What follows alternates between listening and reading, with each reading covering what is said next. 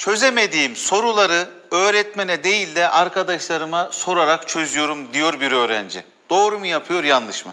Evet, e, anne babalar ünlü bir eğitimci diyor ki çözemediğiniz bir soruyu evet önce bunun bir cevabını alalım. Şöyle vereyim ortalayacağım. Evet bu doğru mu yanlış mı bu doğru.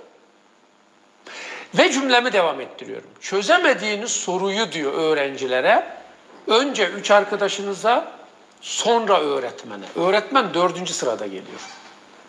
Ama biz Hemen öğret. Para veriyoruz cebimizden. Özel ders adı altında. Özel ders veren arkadaşlarımızı bu zarar iş yapıyor anlamında söylemiyorum yanlış anlamasından. Veriyoruz.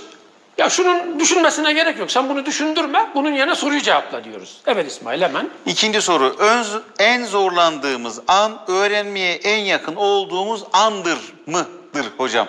İnanılmaz bir aforizma bu. Ders çalışır, soru çözerken ya da ders çalışırken en zorlandığımız an öğrenmeye, soru çözmeye en yakın olduğumuz andır diyebilir miyiz? Bu doğru mu yanlış mı? Evet siz de yapın lütfen. Bu doğru. Bakın İsmail o e, beyin refleksiyle alakalı beyin zorlandığı anda nörotransmitter kimyasal salınımını fazlalaştırıyor.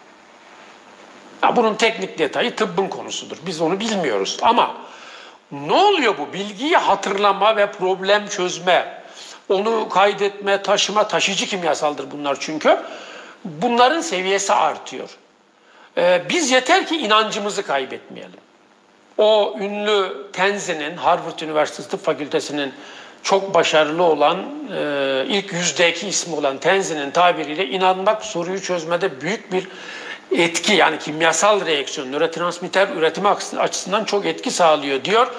Evet, e, zorlandığınız anda bırakmayın lütfen. Devam ediyoruz. Öğrendiği konuyu hemen unutmak hafızanın zayıf olduğunu gösterir hocam. Doğru mudur? Doğru mu yanlış mı? Yanlış. Neden yanlış hocam? Şimdi bak İsmail, bu- bunlar e, işte soruyu çözemiyorsun dikkat sorununa at. Çözemiyorsun strese at. Efendim konuyu unutuyorsun hafızaya at.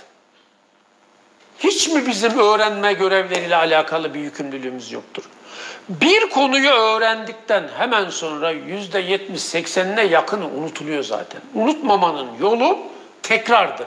Bir konuyu hemen unutmanın, öğrendikten sonra hemen unutmanın sebebi hafıza problemi değildir. Tam tersi. Hafıza zaten öyle çalışır. Siz onu tekrar edip Üzerinde duracaksınız. üzerinde duracaksınız. Evet. Başaracağına inanmak öğrenmede hatırlamayı güçlendirir. Doğru mu yanlış mı hocam? Evet. Doğru, doğru. Doğru. Yanlış böyle yaptık, böyle şaşırttık. doğru. Çünkü neden? Bakın. Ben az önce İsmail şunu söyledim.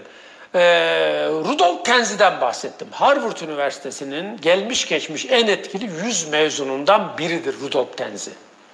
O bunu söylüyor zaten. Başaracağımıza inandığımızda beynimizin kimyası değişiyor. Bunu nerede görüyorlar? Yapay zeka görüntülerinde görüyorlar.